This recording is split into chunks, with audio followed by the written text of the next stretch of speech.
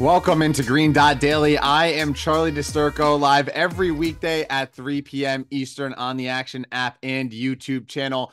We have breaking news to tend to, so we're going to start there.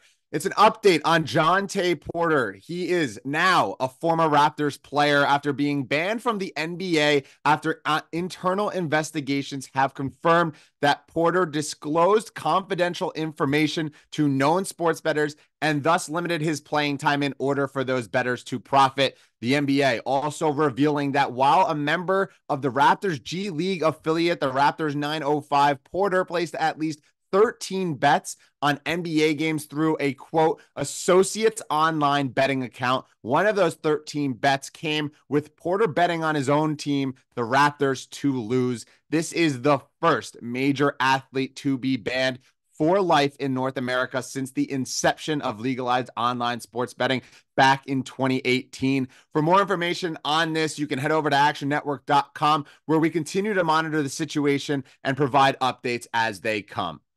Now let's get on to the show. Coming up, we got lots of MLB already in action, but Sean Zerillo has a couple of bullpen spots to circle, maybe some overs to be playing throughout the matinee and night games. Michael Leboff talks the Coyotes' last game at Mullet Arena. And Auston Matthews looking for number 70 in the goal column. We'll have NHL picks from him there. And play-in tournament is tonight. So Jay Money hops on to talk Sixers Heat and Hawks Bulls. But let's shake and bake and start out at Talladega Super Speedway.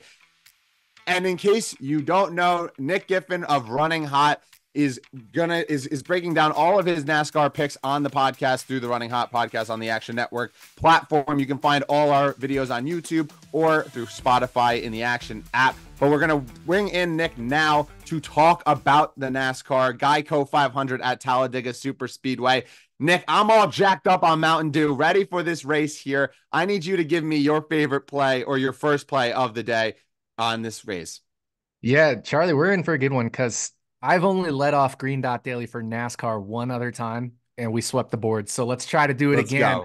Uh, we are going in the first pick to a group bet, and I'm going to take Erik Jones to win his group against three other drivers. That's Alex Bowman, Martin Truex Jr., and Tyler Reddick. You can get this at plus 320.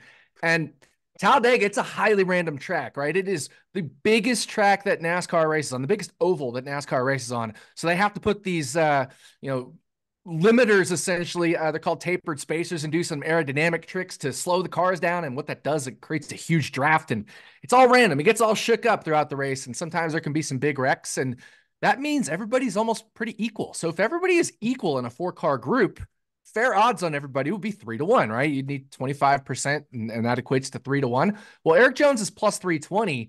And these other guys that are, are around him are about equal to him. Uh, in other races, you may maybe say they're favored, but at Talladega, I think Erik Jones should be favored in this group. If we look at these four drivers of this group in the next gen era car, which is 2022 to present, in the four Talladega races, Erik Jones has best average running position at Talladega, the best average finish, and the most laps led among this quartet of drivers.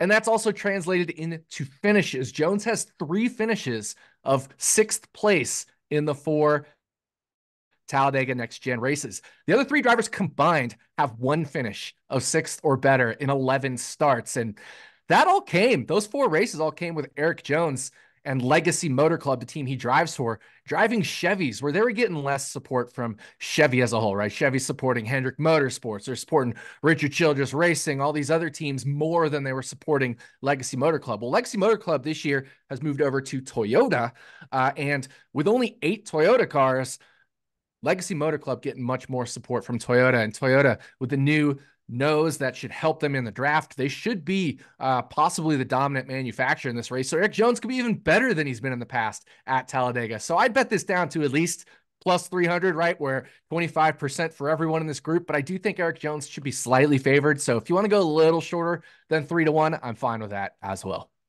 Love this look. Getting the new car while also already having the best average running position and finish, like you said. Erik Jones, he's got to remember, you know, if you ain't first, you last. So he has to come in first. They're trying to come at Geico 500 like a spider monkey. But Nick, the next bet you have here, it's not a you know best win of the group, but it's a placement finish, and you're heading out to a fellow Paisan and Anthony Alfredo. Yeah, that's right. Anthony Alfredo, aka Fast Pasta. So, Charlie, I feel like this is a bet you've kind of got to tail almost in like the grouper fashion just because uh, he is your fellow Italian. But uh, this one is honestly screaming with value. 14 to 1 for a top 10 finish is crazy for Anthony Alfredo. Uh, look, he has two career starts at Talladega in the NASCAR Cup Series, and his average finish is 11th. And we're looking for a top 10. Uh, so that includes a finish of 10th, which is the top 10, and 12th, which is just barely outside the top 10. So, I mean, in two races, he's already well beat this plus 1400 value. Now, it's a small sample size, of course. And that was also when Alfredo ran for Front Row Motorsports. And they were back then in 2021 a smaller team than they are now in terms of the uh, equipment they had. They, you know, they were still two car team, but they weren't as competitive. Uh, that was when Alfredo was second to last in the full season standings among all, among all full time drivers that year. Uh, and Front Row Motorsports as a whole only had one top 10 finish that didn't come at a super speedway or a road course, which are kind of like uh, where equipment matters less. So, um, you know, that was with Alfredo with a, a smaller team. Now he races for a part time team in Beard Motorsports, which is probably why he's getting this 14 to 1 treatment. But it's not really a, a downgrade given how poor front row was back in 2021. If we look at Beard Motorsports stats at super speedways, uh, five top tens in 23 all time super speedway starts. I mean, that's already more than one in five uh, he has the Beard Motorsports, I should say, has two top tens in the 14, what I'll call the less chaotic super speedway races. So I'm removing the Daytona 500s, right? Because everybody's fighting extra hard yeah. at Daytona and you get extra chaos. Exactly. And then there's been a few Daytona playoff cutoff races where it's winning, you get into the playoffs, and those go absolutely crazy as well. So we just look at Talladega and then the Daytona races that weren't the the super chaotic ones. Beard or sorry, yeah, Beard Motorsports has finished in the top 10 in two of the 14, which is one in seven, which would be plus 600 as, you know, like fair odds. And that's mm-hmm. around what I have uh, at, at the Daytona 500 earlier this year. Alfredo finished 27th, not the finish we want, but he qualified 20th. He had the speed to run mid pack. And any car that qualifies and runs mid pack at a super speedway race should be at worst, at worst, six to one for a top 10 finish. So I bet Anthony Alfredo down to around that six to one number and feel pretty good uh, about fast pasta and would definitely have to celebrate with some pasta if he, uh, you know, pulled off that top 10. Yeah, you know, you don't have to convince me twice to bet on an Italian. You don't have to bet on t- tell me twice to bet on a guy whose last name has to do with a great side pasta dish if you want it, Nick. I know you know, a top 10 finish, me betting on Italians, that goes together like Chinese food and chocolate pudding. Thank you so much for hopping on. Best of luck this weekend. You're the best there is, Nick. I hope you wake up in the morning and piss excellence, my friend. We'll do our best. Uh, and uh, yeah, just enjoy Talladega. It's, it's an awesome race. You'll be on the edge of your seat the whole race. Let's ride.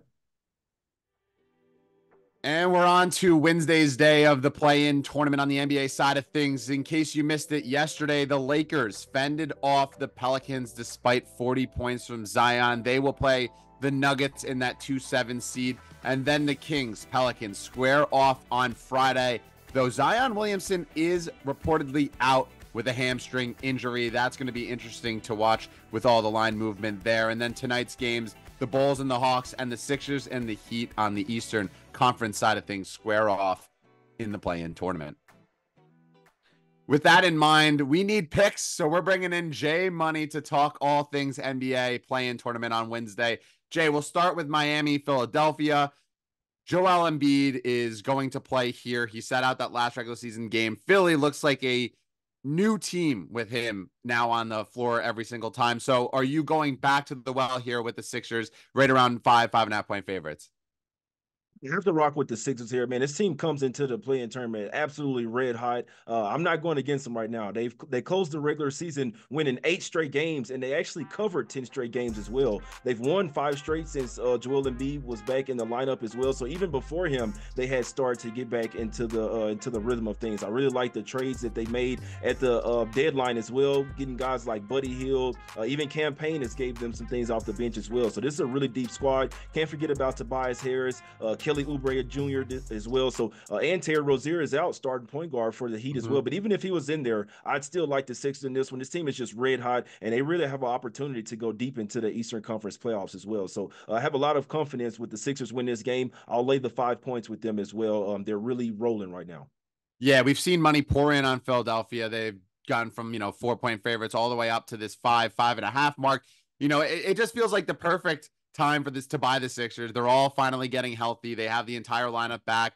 He, you mentioned no Terry Rozier, so that could loom large just not having your point guard that you acquired over the the season. But I also uh, agree with you on the Sixers for what it's worth, which I don't know if that's the kiss of death or not. But the other game is Atlanta and Chicago. Trae Young is back. He's playing in this one. The Bulls are right now three point favorites. How are you betting this one?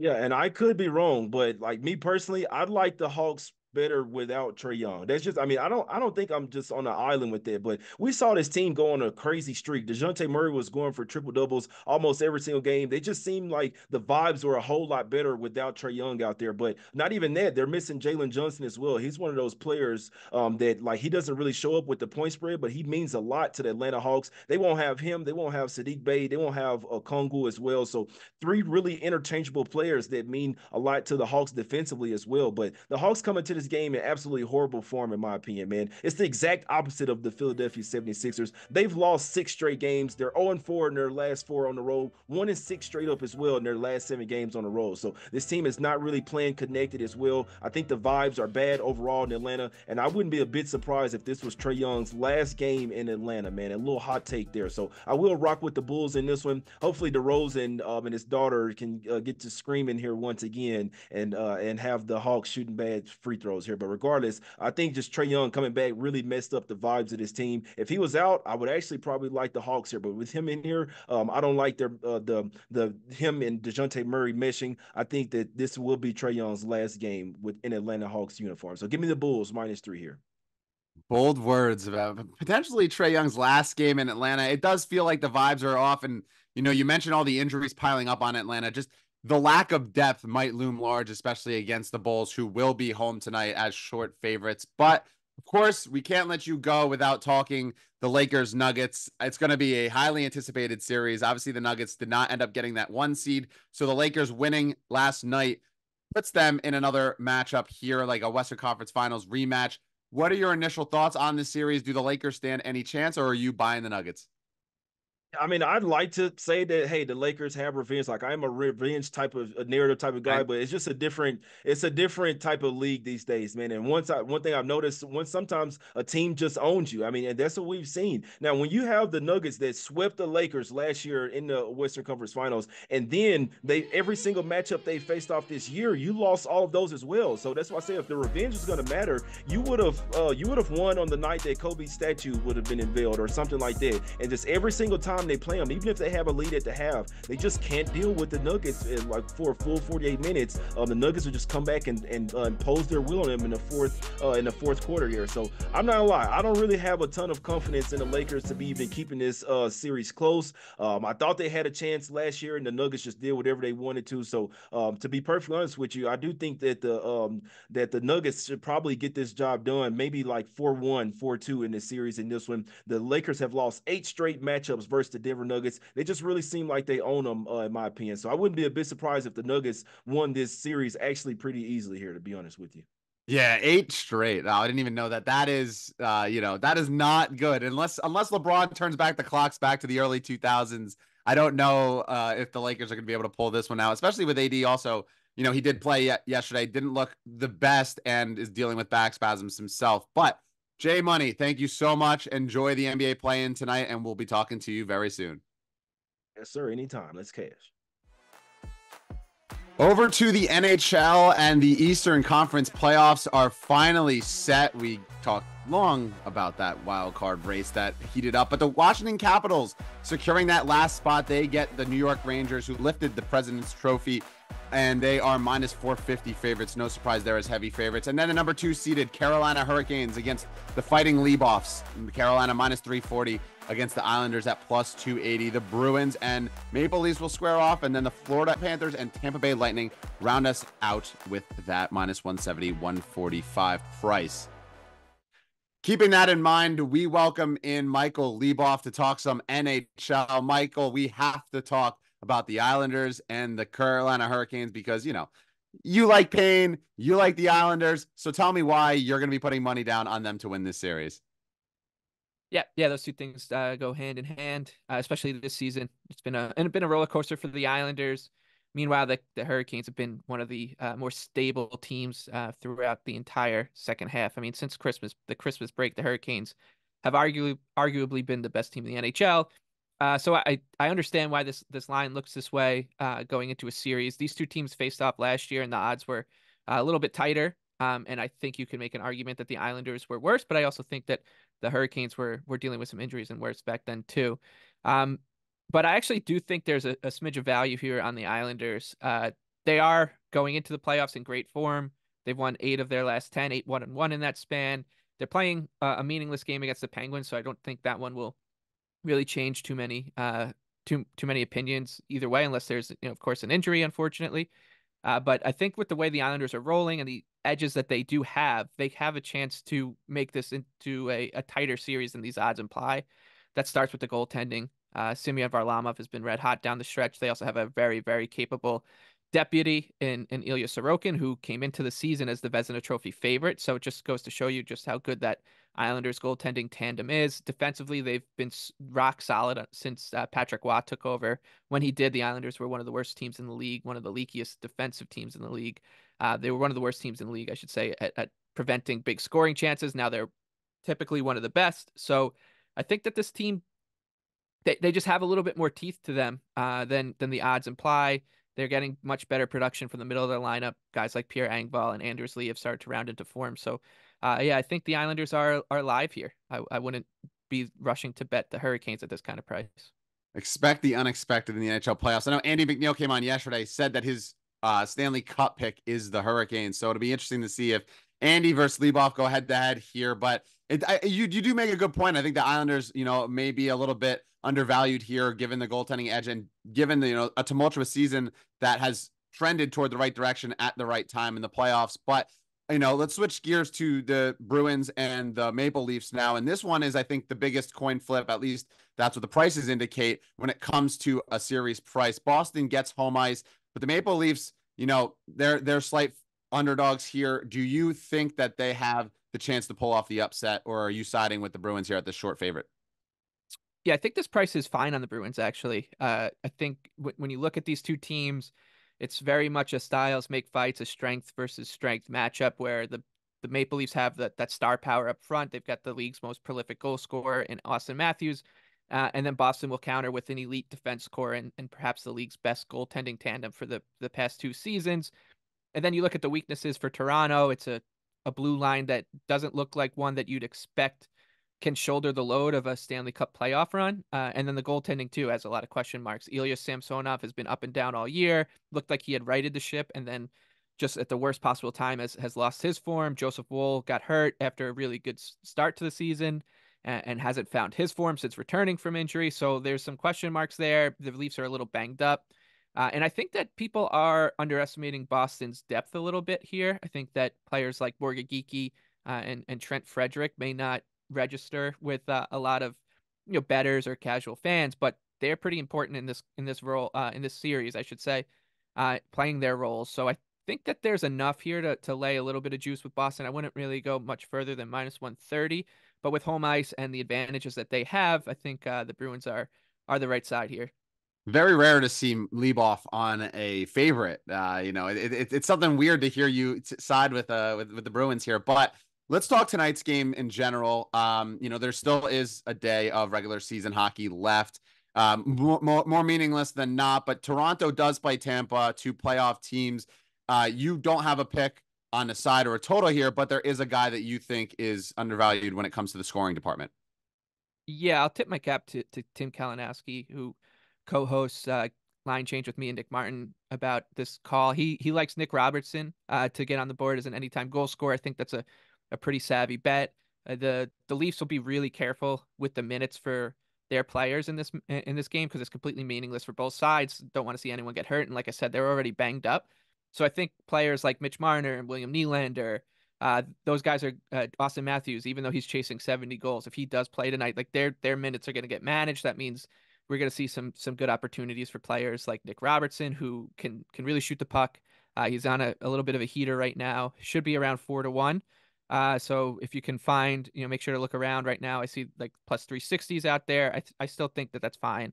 Um, if you're looking for a little bit of a sweat on this, on this game. Oh, I want to talk a little bit more about Auston Matthews uh, here. Um, you know, obviously you mentioned that he is one goal off 70. He's minus 135 to score tonight. He had an eight game goal streak prior to Tuesday night. Is this, uh, you know, a, a, a spot where maybe you bet on Matthews to score the first goal because you don't know how much he'll play to get that 70? Is it worth an opportunity or is it worth a bet in general on him to get to that 70 mark? Yeah, I think you're probably right. I would go with with the last goal, right? Like, because if you think uh, the the Leafs are down and they pull their goalie, he'll be out there on the six on five. Uh, conversely, if they're up and the, the Lightning pull their goalie, uh, he'll definitely be out there looking for the empty netter to cap off a 70 game, uh, 70 goal season. So I think I think so. And I mean, eh, look at, at minus 135. It's not like you're eh, being asked to lay a huge number. So I think if you're a Leafs fan or want to see it, uh, that's that's totally fine, especially with the way he's scoring. I mean, those odds make sense when you consider he's scoring like 69 out of however many games he's played this season. I think he's around 78 or so. Yeah, he's definitely, you know, I, I assume the motivation is going to be there. Just don't know how many minutes he'll be on the ice, just given how much this game does not matter. But it is a great mark to hit 70 goals in general. But the other game tonight, Pittsburgh Islanders, uh, another game that you are looking at goal scorers. You have two in particular, though, that you like. Yeah, a couple more. Uh, I like Oliver Wahlstrom uh, in this spot with the Islanders. He's not played in quite a bit here, but he is a an offensive threat. He's got a great shot. Uh, he'll play on the first line tonight with Matt Barzal being rested because the team uh, this game is meaningless for them. So you should catch some some pretty big numbers here on Wahlstrom. Uh, he's he's going to get power play time. He's going to play alongside Bo Horvat. He should be up there in terms of time on ice leaders as as the Islanders want to at least keep him fresh and, and, and conditioned for in case they need to tap his shoulder uh, in the playoffs. So if you're getting uh, closer to four to one on, on Wahlstrom, I think he's definitely worth it. Um, like I said, he got a great, a great shot and, and should be a threat on a power play in what is a game that who knows how this one's going to play out with neither team having anything to play for. Uh, in the other game uh, as well, I like Mitchell Chaffee. I don't think I got to mention him in that Leafs oh. game. Uh, he's he's a pretty big price for the Lightning like I said with Robertson, I just think the Lightning are gonna be so careful with with their big guns minutes, right? Like Kucherov, he's one assist away from 100. So if he gets that, I wouldn't be surprised if they just send him to the locker room. They'll be careful with Stamkos and Point and all those guys. So I think that someone like Mitchell Chaffee could end up playing, you know, setting a career high in terms of minutes and and usage. He could end up on like a power play. Uh, so right. uh, I do think that he he makes some sense here at a big number. A lot of long prices, trying to take advantage of where you know rest can come into play. I think that that's the best way to attack this. And another, you know, meaningless game for the Edmonton Oilers, but maybe everything for the uh, Coyotes. Uh, the final game at Mullet Arena, or what seems like it is, you know, the players were reportedly told that the Coyotes are going to move to Salt Lake City next season. I was looking on, uh, you know, on StubHub, and the tickets were three hundred and ninety-five dollars for the cheapest seat at Mullet Arena for tonight's game. Uh, max capacity five thousand people. They call it a party barn for a reason. Uh, is there any talking me off of the Arizona Coyotes money line, or should are you joining with me? No, absolutely. This is one of those bets that if you if you're someone who's just grinded through an entire NHL season betting, uh, you know, every night or close to it, uh, this is such a nice way to kind of cap it off. It's it, and and I mean that with all due respect to Coyotes fans. Um, I I totally I feel for them as an Islander fan. Like the Islanders almost moved for hundreds of times it felt like during my formative years but so i do i do sympathize with them but um as a as a hockey bettor who's who's fallen kind of fallen in love with this coyotes team with the prices that we've been dealt with on them especially at mullet arena um, this is a pretty pretty poetic way to go out and i think that you know you're you can bet this however you want like if you want to bet like alternate puck lines on the coyotes i i don't think that you're going to get even close to the oilers best effort here so coyotes to win in a shutout however crazy you want to get with it it's fine because it's look, it's the last two nights of the regular season. This is gonna be one of the final regular season bets you make. Why not have a little fun with it? Go chase a big price, and you'll always remember uh, the night that the uh, the Coyotes left Arizona for the first time. Yeah. They, they might go back. This this is I think the the peak Michael Leboff game. Like you could get seven different ways to bet the Arizona Coyotes in their final game. Edmonton could be resting players. They don't have anything to play for in this one. But Michael Leboff, thank you so much. Best of luck on you know your goal scorer props tonight, and and you know hopefully you can avoid some pain this weekend with uh, the Carolina Islander series. I appreciate that. Thanks, Charlie. And we're nearly a month through the MLB season. So let's take a look at how the American League standings have shaked out. You look at the Cleveland Guardians, the best team in baseball on the American League side, leading with a 12 and 5 record. The New York Yankees with Juan Soto look like a team that is revived despite Aaron Judge's slump. Even down the us further. The Kansas City Royals, Detroit Tigers in that wild card spot right now. The American League East in general looking strong as always with the Rays and Blue Jays both above 500 as well. But two teams that are missing, which, you know, is there some cause for concern? The Houston Astros and the Minnesota Twins. The Twins and Astros both making the playoffs last year, of course, and right now off to a very slow start. And with that, we welcome in MLB expert Sean Zerillo to break down the American League picture. Sean, I know you just put in a couple of bets into the app regarding Toronto and Kansas City, but I want to start with Houston. And this is a team that I'm, you know, I'm a I'm a bit concerned of in general just because of the amount of pitching injuries that are, you know, piling up. Obviously, Justin Verlander returns this weekend. But Framber Valdez hurt, Luis Garcia, Lance McCullers, Jose Urquidy, they have a laundry list of pitcher injuries. Are you pressing the panic button yet on this team? No, not at all. And every projection system out there from PECOTA, Fangraphs, ATC still has this game winning the American League West and still has them making the playoffs over 60% of the time. So, not at all worried about Houston from a making the playoffs perspective. But in terms of their upside and winning the World Series in a wide open American League, yeah, I think their time has finally come where the clock might have ticked midnight.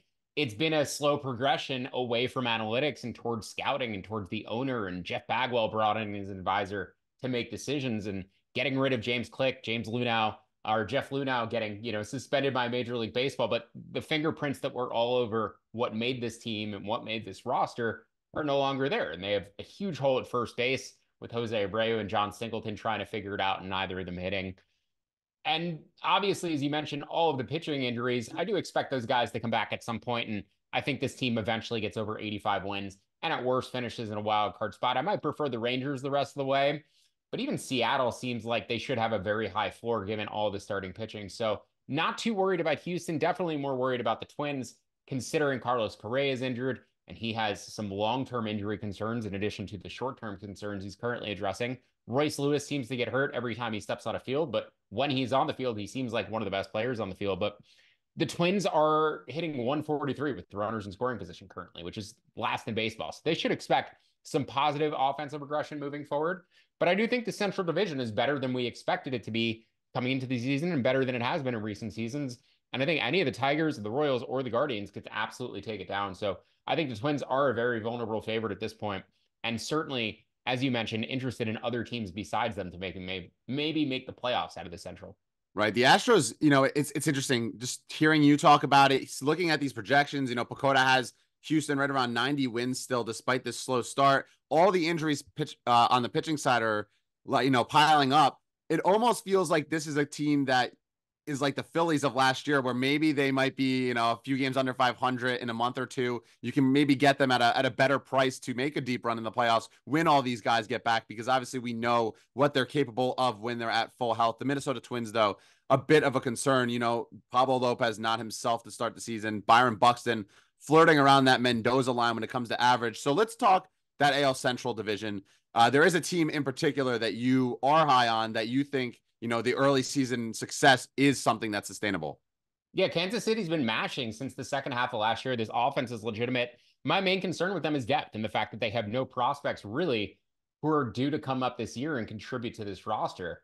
Uh, and they really have no prospects either that they can trade and acquire other pieces for. But I think the biggest weakness on this team is their bullpen. Their rotation seems pretty deep. They have Cole Ragans at the top, who looks like an AL Cy Young candidate. Bobby Witt is hitting like an AL MVP candidate. But then even Lugo And Brady Singer and Wacha, like these guys are going to give them solid innings every time out. And considering their offense should score about five runs per game, I think the Royals have a chance to keep winning games in a weaker division and potentially pull it out. Shane Bieber getting hurt for the Guardians certainly limits their ceiling. The Tigers can't seem to score more than four runs a game themselves. They're going to continue pitching well. And I just think the overall package of the Royals, obviously the pitching isn't as good as Detroit, but the lineup is significantly better.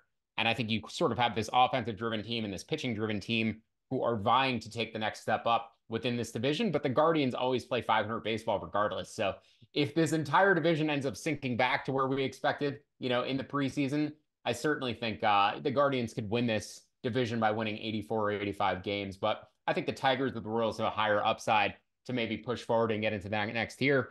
Now, because of the Central being a little bit stronger, it may squeeze out a team from the AL East or the AL West. You know, coming into the year, it seemed like right. the Yankees and the Orioles and the Rays and the Rangers and the Astros and the Mariners were fighting for five spots, right? They're two division winners and then three wild card spots, which leaves two of those teams getting squeezed out. But if two of the teams from the Central make it, and now you have fewer in division games. These teams are going outside of the division more frequently to play games. It's more of a chance to knock out these teams directly. And if two teams from the Central make it, it means that one of the other teams from the AL East or the AL West just ends up getting squeezed out of the playoff picture. So the team that I like least amongst all the teams I mentioned is the Toronto Blue Jays. And even though projections, PECOTA has them right now at 70% to make the playoffs, Fangraphs ATC have them closer to 50%. Where I would put their projected win total for the end of the year, I probably like them less. And towards Seattle, towards the lower end of all those other teams. So, yeah, I see major holes in the lineup for Toronto. They really do not seem deep offensively. They're built on defense, but that doesn't really matter if all of your pitchers like Kevin Gausman are getting hurt and uh, Alek Manoah not going to give them anything going forward. And even their two best relievers came back yesterday, Jordan Romano, Erik Swanson. Those guys are both dealing with arm injuries, and there's no reason why either of those guys can't go back on the IL at some point. So, yeah, I like Toronto to miss the playoffs and plus money. I like Kansas City to make the playoffs a 265 or better. And we'll see how this AL playoff picture ends up shaking out. But these central divisions do seem like they're a touch stronger in both leagues than they have been in recent years. Yeah, and eh, you know the Kevin Gausman thing I think is most interesting because I think even looking at the Blue Jays pitching, you know they don't have a fifth starter right now, and Jose Berrios I don't know if he's tr- if he's as trustworthy as you can make it. And then you look at you know Kevin Gausman, he had a delayed start to spring because of shoulder fatigue. Now he's pitching and he's getting battered. And it's like, is there something underlying? We've already seen this, you know, epidemic that's coming around pitchers right now with injuries. It's super interesting to at least keep an eye on how, how Gausman pitches. And he's pitching tonight against, you know, the Yankees as well. The Yankees also one of those teams that has pitched and played above, or I guess, you know, to expectation finally. They always expected to have been one of the competitors in the East, and now they're actually playing like the best team in baseball. But I do want to talk real quick about the NL because, uh, you know, I'm a Mets fan. You know, you're from New York. we we talk about the Mets a lot. This turnaround that this team has had, they've gone 0 and 5 to start the season with complete bullpen collapses. And I was like, all right, 0 and 162 is inevitable. And now they're 9 and 8 and they're looking like a different team. I said, I know we we did the NL East podcast together on payoff pitch, and I said that I think with no expectations, this is a team that you could maybe make a case for to make the playoffs at a near two to one price.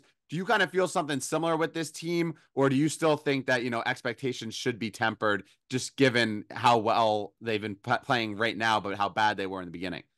Yeah, the team I'd like to secure the final wild card spot in the NL coming into the season is the San Francisco Giants, and they've started out a little bit slowly. And I would say the projections still think there's value on the Giants to make the playoffs at this point, but the Mets are starting to come into range for me obviously the Braves losing Spencer Strider, like I still think the Braves are going to win the NL East. Maybe it gives right. the Phillies a little bit more of a chance to win the division, and I don't think the Mets are in range to actually win the division ultimately. And they have played a lot of bad teams. You know, you have to bake in a soft schedule for the Mets to start as well, but they looked pretty good in Atlanta, and they're coming back on teams late. And I think that's the biggest key. I'm always looking for teams who don't give up when they're down late. The Orioles have been doing it constantly to teams this year. The Guardians have done it a number of times. The Dodgers do it every season. The Astros typically do it every season. They haven't done it yet this year, and that's a bit of a red flag for me. But the Mets are absolutely coming back on teams late. I think David Stearns' fingerprints are already all over this team, and it's already extending into the minor leagues as well. He's introduced a pitching lab. Christian Scott looks tremendous in AAA. They have Kodai Senga likely coming back at some point. JD Martinez is going to join this lineup at some point. And they have other prospects, Luis Angel Acuna, Drew Gilbert, who are outfielders in AAA that they acquired for Scherzer and Verlander at the deadline last year. So if they have any injuries, they have top prospects who are ready to come up and ready to roll into this lineup.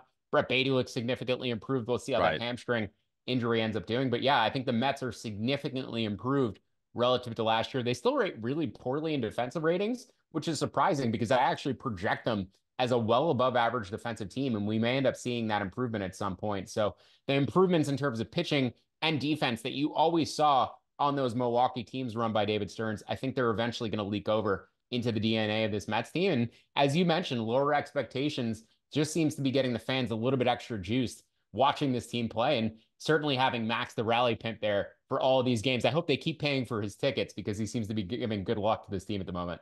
Yeah, they're currently nine and eight. Uh, you know, after starting out 0 and 5, they have new life. And you mentioned, you know, that wild card spot in the NL is is so jam packed. You know, other than the Dodgers in Atlanta, I feel like every team is within three wins on projected from top to bottom there. But let's move over to tonight's or today's slate. Obviously, we have so many games that are in progress as we speak right now, but there is a game that's, you know, underway in about 10 minutes, and that's, you know, the Arizona Diamondbacks and the Chicago Cubs. Uh, D backs are slight favorites with Brandon Pfaadt on the mound against Jordan Wicks. It's not John Wick, it's Jordan. So you're fading Mr. Wicks here and going with the D backs. Yeah, and a big fade of the Cubs bullpen as well. The bullpens are exhausted in this series. They're exhausted in the Range Angels series that we'll talk about, and they're also exhausted in the Red Sox Guardian series. And those six teams all have to play on Thursday, in addition to playing today. Two twenty of the 30 teams are off tomorrow, but all six of these teams have exhausted bullpens today, have to play tomorrow. And in particular for Jordan Wicks, he throws a lot of pitches. He hasn't made it through a fifth inning yet this year, strikes out a lot of guys, walks a lot of guys. That's a real problem against this Diamondbacks lineup. The Diamondbacks have the lowest strikeout rate in baseball this season, had one of the lowest strikeout rates in baseball last season. They also have the fourth highest walk rate. So this team fouls off a lot of pitches. They take a lot of pitches. They're very patient. I think they're going to knock out Wicks before the fifth inning here, too. The problem is the Cubs don't really have a bridge or any relievers to get them to the late innings. Uh, Luke Little and Drew Smyly have thrown on consecutive days. Adbert Alzolay blew the save last night. Yency Almonte, Leiter, and Hector Neris, in addition to Alzolay, have all pitched three times in the past four days. So who gets the innings in the middle innings behind Jordan Wicks today? Meanwhile, Brandon Pfaadt his stuff plus numbers a little bit down from last year, but his command has improved and he's ranked as uh, above average pitcher per pitching plus for the past two seasons. I think his regular season numbers kind of indicated the postseason success that he ended up having. And he's gotten hit hard a little bit this year, but I do think he's going to be a top flight pitcher moving forward. And honestly, I think he's going to be better than Zach Gallen when it's all said and done. So I like this Arizona team better. They do have a little bit of tired relievers in their bullpen too. Kevin Ginkel worked back to back days. They have a couple other guys who work back to back days. But other than that, they do have a deeper bridge and they have a deeper bullpen in terms of Wednesday night's matchup. But as I said, it's kind of odd for these managers to manage these bullpens today, knowing they have another game tomorrow and everybody's already exhausted. But Arizona, I made minus 140 for the first five innings, made them minus 130 for the full game. So there's room there on either price up to about minus 130 and minus 120, respectively.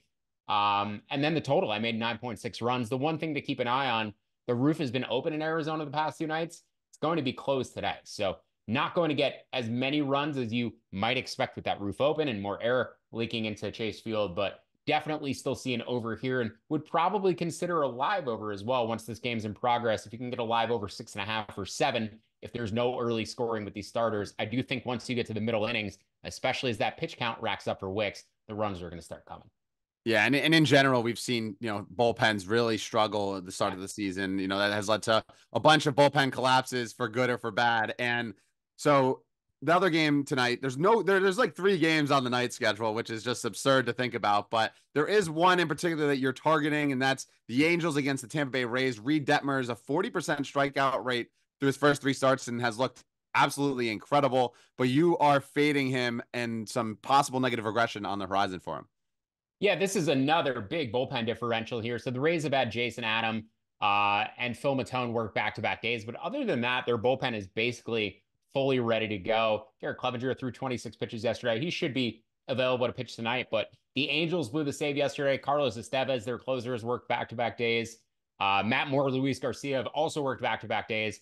And then Luis Cisnero and Adam Cimber have also pitched three times in the past five days, and they're a long reliever. Won 27 pitches yesterday. So the Angels, again, don't really have a bridge to get between Detmers and their bullpen, and they don't really have their closer or any of their top flight relievers available either. So the Rays should have a big, big bullpen advantage in the late innings. I certainly project Detmers as a better starter than Zack Littell. But once this game comes to the late innings, I like the Rays live. I like them pregame up to about minus 130. And then I also like the over in this matchup. You could bet that up to about 8.5 minus 107. But also another game where I'd be looking for a live over six and a half, live over seven in progress. If these starters are pitching well early, if the pitch counts are getting up, they're just a little bit for Detmers. They have no bullpen to go to once he's done with his days. So like the live over, but also like the over pregame. And as you mentioned, there's only three games on this night slate. The third is Guardians and Red Sox, and I like the over there too. Very similar situation to what I just talked about with the bullpens in these other games. And just as a reminder, they also have to play tomorrow.